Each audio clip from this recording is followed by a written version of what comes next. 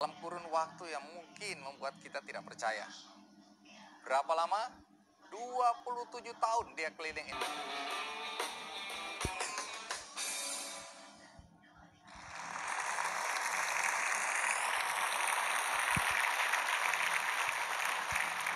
Ada seorang pemuda yang keliling Indonesia dalam kurun waktu yang mungkin membuat kita tidak percaya.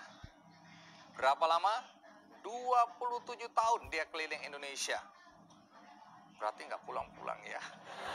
Mari kita sambut Kang Ismail.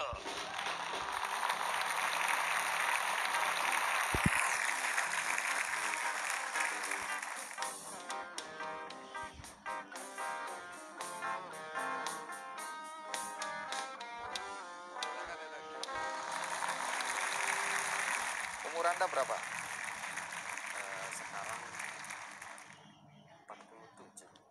47 tahun. Anda keliling Indonesia naik apa? sepeda Selama berapa tahun persisnya?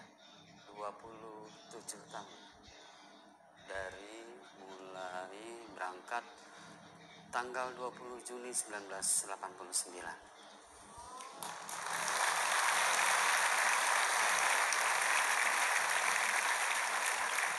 Sekarang masih jalan, masih masih keliling. masih Kebetulan berada di Jakarta ini. ya ingin melanjutkan perjalanan lagi setelah DKI menuju ke Jawa Barat Jawa Tengah Jawa Timur mengakhiri perjalanan di Bali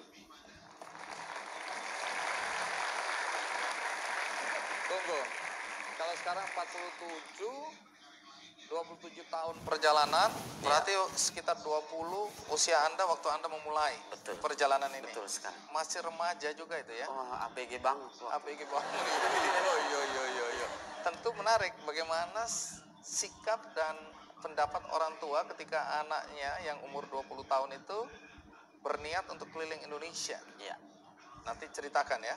Tapi sekarang kita lihat dulu tayangan berikut ini. Apa yang ada di benak Anda ketika mendengar berkeliling Nusantara dengan bersepeda? Tentu kita akan berpikir itu hal yang sulit untuk dilakukan, tapi tidak untuk Ismail. Sejak duduk di bangku kelas 4 sekolah dasar, Ismail bermimpi ingin menjadi penjelajah dan berkeliling Indonesia. Setelah lulus SMP, Ismail membuat keputusan besar dalam hidupnya. Pada tanggal 20 Juni 1989, Ismail mulai berkeliling Indonesia seorang diri dengan bersepeda. Ismail memulai perjalanannya dari Indramayu, Jawa Barat menuju daerah timur Indonesia seperti NTB, NTT, hingga ke Maluku. Selanjutnya, ke Sulawesi, Kalimantan, Sumatera, dan Belitung. Saat ini, Ismail berada di Jakarta. Sudah 27 tahun Ismail berkeliling Indonesia. 297 kota dan kabupaten dan 33 provinsi yang telah dilalui Ismail. Selama dalam perjalanannya, Ismail mengumpulkan tanda tangan dari pejabat berbagai elemen. Tidak tanggung-tanggung, Ismail telah memperoleh 3.900.000 tanda tangan dan menghabiskan 154 buku untuk menampung tanda tangan tersebut. Sedang biaya yang telah dihabiskan sekitar 300 juta rupiah. Biaya tersebut berasal dari uang pribadi dan bantuan dari pejabat yang ia datangi. Selain itu, selama 27 tahun keliling Indonesia, Ismail telah berganti 33 unit sepeda. Ismail bertekad mengakhiri perjalanannya keliling Indonesia di Pulau Bali. Ismail berharap setelah ia berhasil menyelesaikan misinya, ia akan memegang rekor dunia sebagai kolektor tanda tangan terbanyak. Tidak hanya itu, misi lain dari perjalanan ini adalah untuk menumbuhkan rasa cinta pada tanah airnya, Indonesia.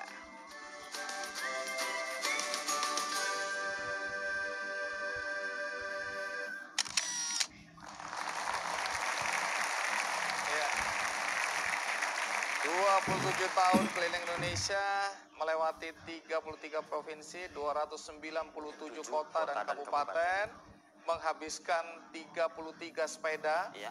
Itu sepedanya dimakan ya habis. Oke, nanti cerita ya kenapa sampai 33 sepeda itu habis. Terus kemudian yang penting juga adalah Anda mengoleksi tanda tangan ya. Iya. tanda tangan dari pejabat atau tokoh-tokoh yang ada di sekitar situ.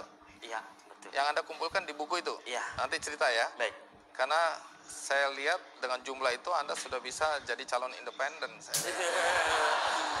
Oke, tapi kita mulai dari pada saat Anda berniat untuk keliling Indonesia dalam usia yang relatif masih muda 20 tahun. Orang tua bagaimana reaksinya waktu itu?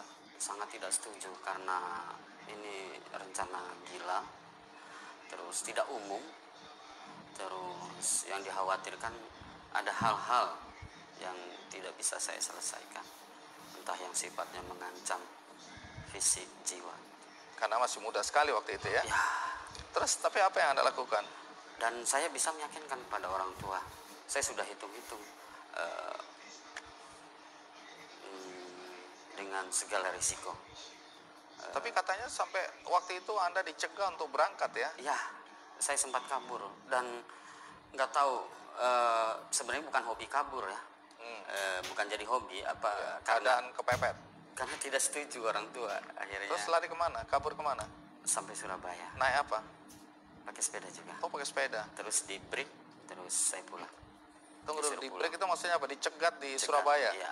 Terus disuruh kembali. suruh pulang terus disuruh dibereskan Apanya yang eh, dibereskan? surat-suratnya supaya ada payung hukum buat saya Oh, jadi akhirnya orang tua setuju. Setuju. Tapi dengan catatan harus ada surat dari siapa? dari Kepala desa. saya Oh, jadi lebih resmi Iya. supaya orang tua lebih tenang. betul Tapi memang rencananya waktu itu mau 27 tahun atau Eh, waktu itu saya eh, 17 tahun lah mungkin ya karena eh, setelah saya apa hitung-hitung eh, dari kota ke kota ke kota kayaknya 17 tahun itu sudah paling lambat tapi ternyata di perjalanan aral rintangannya banyak sekali saya pernah disandra oleh separatis Fretilin di zaman Timur Timur sebelum Timur Leste pernah dihukum adat juga oleh suku Dani di Papua? Papua pernah juga saya naik kapal tenggelam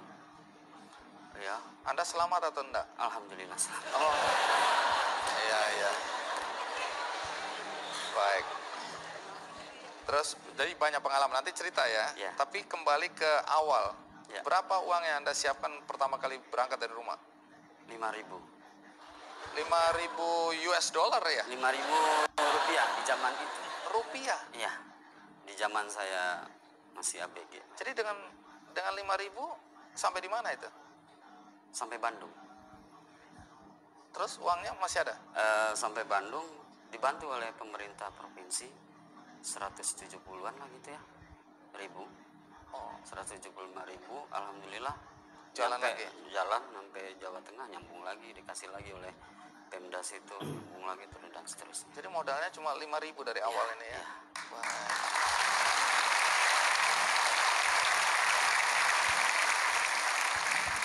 Soal disandra tadi ya oleh eh, gerakan separatis Fretilin di Fretilin, Timur Timur. Waktu iya. itu masih Timur Timur ya, masih Indonesia Timur, berarti masih ya. Indonesia Oke, terus ketemu Sanana katanya. ya saya Oke, terus? nggak sengaja waktu itu Nggak sengaja ya. Sanana datang menemui Anda untuk minta tanda tangan mungkin ya. tidak Oh.